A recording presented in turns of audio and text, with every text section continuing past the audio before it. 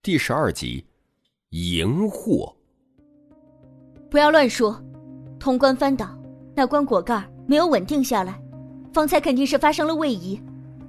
林家很平静的这样说道，稳定在场众人的情绪。九具庞大的龙尸皆长达百米，鳞甲森然，乌光点点，横在了不远处。青铜棺椁足有二十米长，压在五色祭坛上，带给人以强烈的不安。我想，我们还是集体去探索前方那团光亮吧。我也觉得，大家应该一起行动。不少人都这样建议，很显然是心有惧意，几乎没有人愿意再继续停留此地。最终。所有人一致同意集体前行，去探索那团光源。这片大地上，全都是由红褐色的土壤与沙砾组成，空空旷旷。巨大的岩石只是零星的点缀着。当走过方才那块登高望远的巨石时，刘云志惊讶的发出声音：“哎，那块巨石上有字迹！”绕到那块巨石面向光源的那一侧，可以清晰的看到两个巨大的古字刻在石体上，每个古字都足有五六米高，铁钩银华，苍劲有力，大气磅礴，像是两条怒龙盘旋而成。比如今的字体繁复很多，应该是很久以前的古代刻下的，也不知道存在多少岁月了。众人聚集在石壁前，凝望两个苍劲的古字，很多人都皱起了眉头，难以辨识出意思。这似乎是钟鼎文，第一个字应该是“赢”。周易辨认出第一个字，他蹙起眉头：“我们到底来到了怎样一个地方？”确实是钟鼎文，这两个字为“荧惑”。叶凡辨认出这两个字后，随口说了出来。他看似平静，但两个字所代表的意义却着实让他内心震动无比。荧火，怎么会是荧火呢？他简直不敢相信这一切，不禁望向天空。可是现在虽然很昏暗，但星辰还没有出现几颗。荧火。什么意思啊？荧惑是一个什么地方？不少人都不解，不明白这二字的含义。周易听到“荧惑”二字后，也如叶凡一般，心中巨震，脸色有些发白。荧荧火光，离离乱惑，我们真的没有办法回去了吗？什么意思啊？这是哪儿啊？众人惊疑不定。王子文在听到“荧惑”二字时，也明白了它所代表的含义，为众人解释道：“这里，恐怕已经不是地球，荧荧似火，古称荧惑，为不祥的征兆。在古代，将火星称之为荧惑。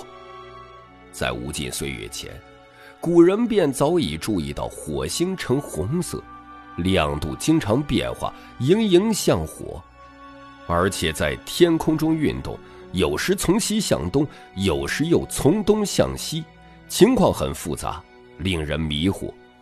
荧荧火光，离离乱惑，在古代称之为荧火。古时帝王迷信，忌惮这颗灾星，认为它遇事不祥，没有出现，不是宰相要被撤职，就是皇帝要死。对于这种迷信传说，后世人自不会相信。李小曼身边的凯德费尽心神，明白“荧惑”二字的中文含义后，又是抓红褐色的土壤，又是敲打岩石，不断观察地质，惊得连连怪叫：“这……这怎么可能？”很多人瞠目结舌，根本无法相信眼前这个事实。我们脚下这片红褐色的大地是火星。我们已不在地球上。认识谁听到这个结果也会呆呆发愣，根本没有任何道理。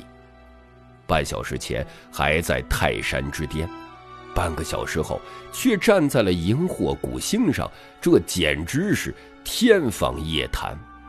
林家身材修长，妖娆多姿，此刻漂亮的脸颊有些发白，丹凤眼瞟向众人。现在，我们只是看到了这面石刻而已，还不能真正确定，是否真的在荧惑星上。可是，据说在干燥的火星表面上，遍地都是红色的土壤与沙粒，我们眼前所见的景象，不就是如此吗？有位女同学带着哭腔：“人类早在上个世纪六十年代就已经发射过太空探测器探索火星。一九九七年，火星探路者更是在火星表面成功着陆。近数十年来的探索，人类对火星早已不再是茫然无知，获得了大量珍贵的资料。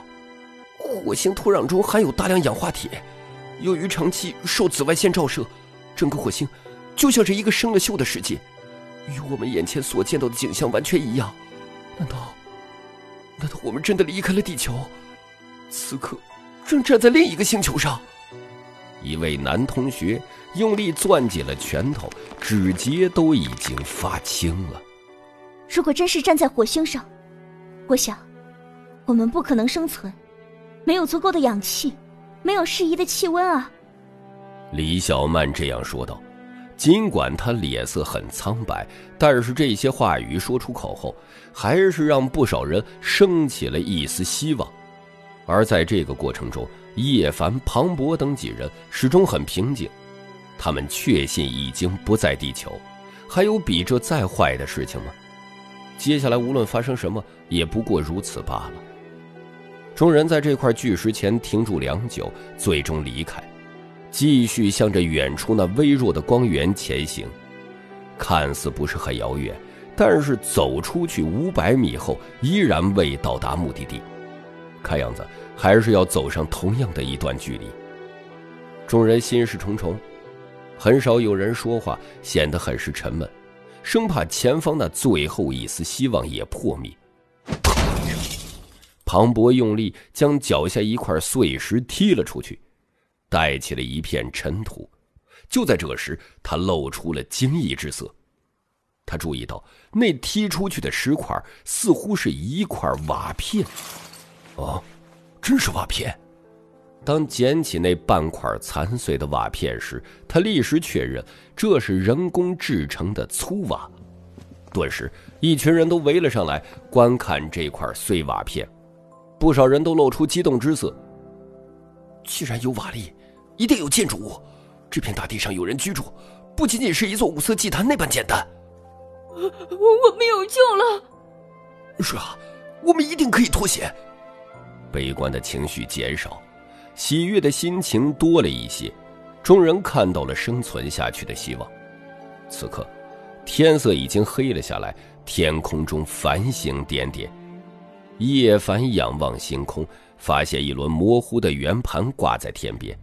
能有在地球上所见到月光的一半大小，足以证明此地不是地球。而在另一个方位，还有一颗拳头大小的亮星，比一般的星辰亮很多，但又比那颗小号的月亮暗淡一些。称之为星辰过于明亮，称之为月亮又过于小与暗淡。周易、王子文、刘云志就站在不远处。他们注意到叶凡的举动，也不禁仰天观看。当见到两轮秀小的月亮挂在天边，他们顿时变色了。